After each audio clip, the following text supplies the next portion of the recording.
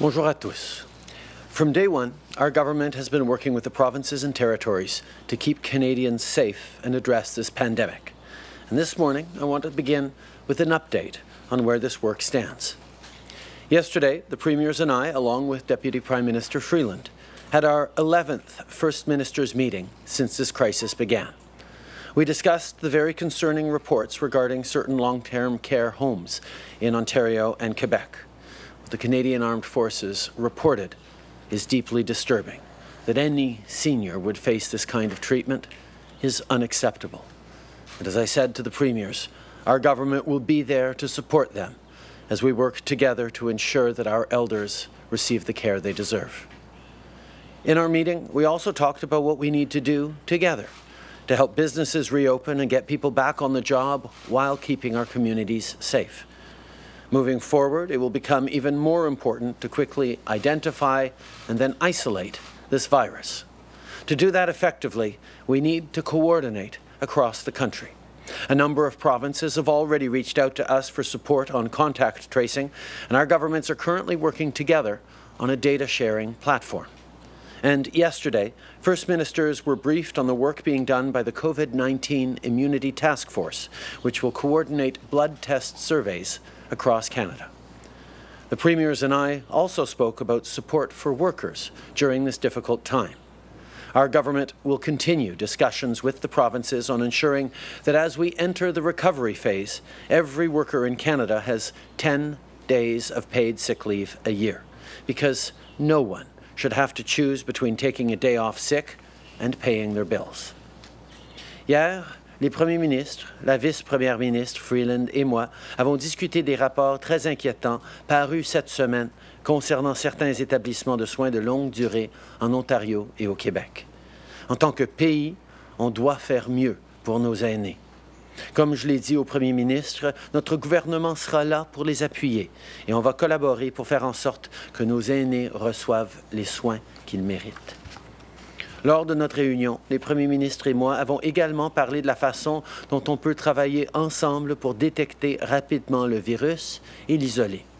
Les premiers ministres ont reçu une mise à jour concernant les travaux du groupe de travail sur l'immunité COVID-19 qui va coordonner les analyses sanguines à travers le pays. Nous avons aussi discuté de la façon dont on appuie les travailleurs durant cette période difficile. Notre gouvernement poursuit des discussions avec les provinces pour faire en sorte que lorsqu'on va commencer la reprise, chaque personne ait 10 jours de congé de maladie payés par année. Notre gouvernement travaille aussi avec les dirigeants des Premières Nations, des Inuits et de la nation, nation métisse pour soutenir les communautés pendant la crise. On a déjà fait toutes sortes d'investissements, que ce soit pour offrir des prêts aux entreprises autochtones, des emplois aux étudiants ou des services à ceux et celles qui vivent hors réserve. Mais on sait qu'il nous reste encore du travail à faire et aujourd'hui, on franchit une autre étape.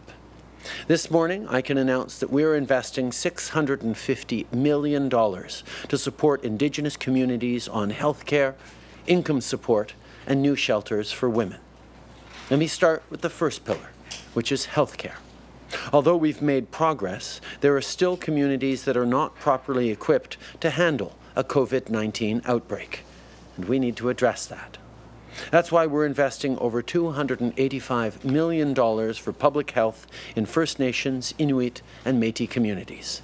These funds will go toward more nurses, will help procure specialized supplies, and will support work with First Nations, Inuit, and Métis communities on continued community-driven responses. Having the right health care is essential, but it isn't the only concern facing communities right now. Because of this pandemic, a lot of people also need a hand in paying for the basics. So, as a second pillar of this investment, we are boosting the On-Reserve Income Assistance Program.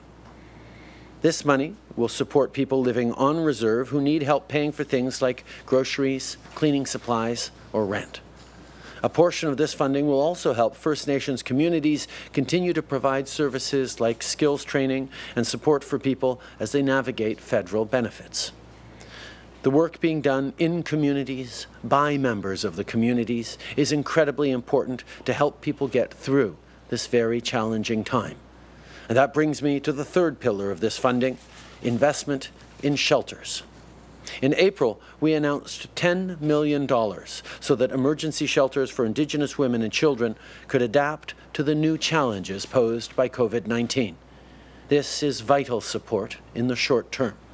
But in the long term, more still needs to be done. So today I can announce that our government is investing an additional $85 million for new shelters for Indigenous women. These shelters will be built in communities across the country, including in the north. No one should have a place to stay when they're unsafe. No one should be for, no one should have a place to stay. Eh, hmm. No one should have to stay in a place where they're unsafe. No one should be forced to choose between violence or homelessness.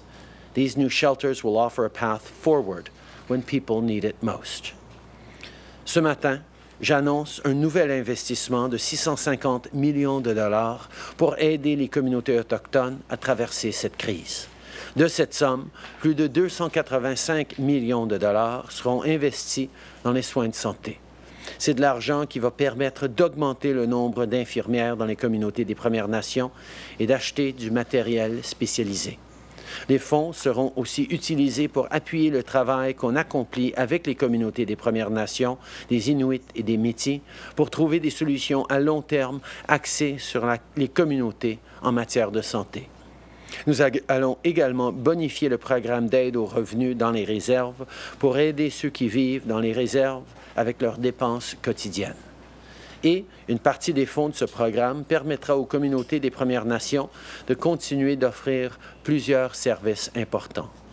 Finalement, on a investi 85 millions de dollars dans des nouvelles maisons d'hébergement pour les femmes autochtones. Ces nouveaux refuges, qui seront situés dans les communautés, vont offrir aux femmes un endroit sûr et des ressources lorsqu'elles en auront le plus besoin. I want to end today with an update on another measure we've taken to keep Canadians safe.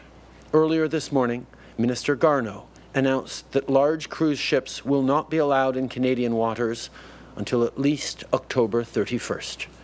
This decision extends the one we made in March, which was taken to protect our coastal communities. COVID-19 is still a very serious threat, but with the right plan and with the right investments, we will weather this storm together. Merci.